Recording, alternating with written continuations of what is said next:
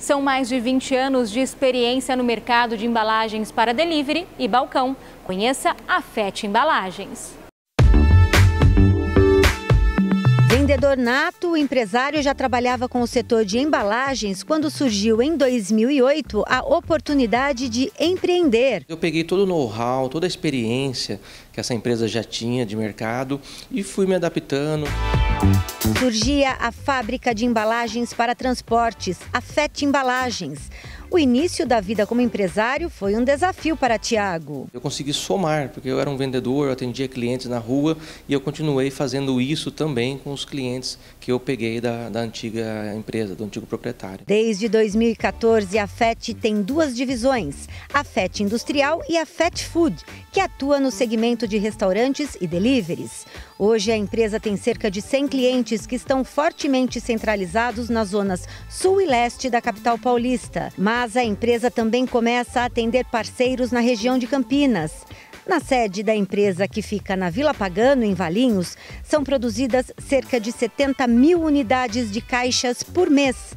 3 mil por dia. Só a Fat Food cresce cerca de 10% ao ano. O segmento se mantém forte porque é beneficiado pelo crescimento constante no mercado de delivery e também da criação de aplicativos. Se a gente parar para fazer uma conta rápida, o que ele vai gastar de combustível, o que ele vai gastar para estacionar o carro, compensa ele pedir a comida né, o alimento na casa dele. Então é uma tendência muito forte, igual a outros segmentos. Além dos mais de 20 anos de atuação no mercado de embalagens secundárias para transporte de alimentos, entre os diferenciais da FET Embalagens estão a qualidade do produto e a impressão dos logotipos.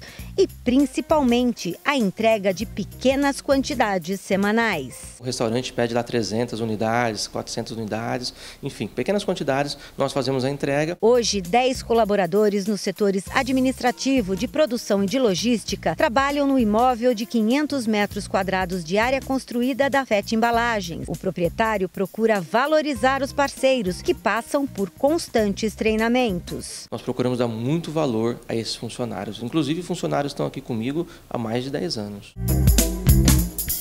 O setor de embalagens é o termômetro da economia e o empresário pretende investir nos próximos meses em maquinário e também em impressão. Outra novidade são os logotipos impressos em sacolas de papel e cartões. Pretendo, a partir do ano que vem, trabalhar com papel cartão, papel, papel duplex, é, que é um outro tipo de impressão. O segredo é a qualidade e o atendimento.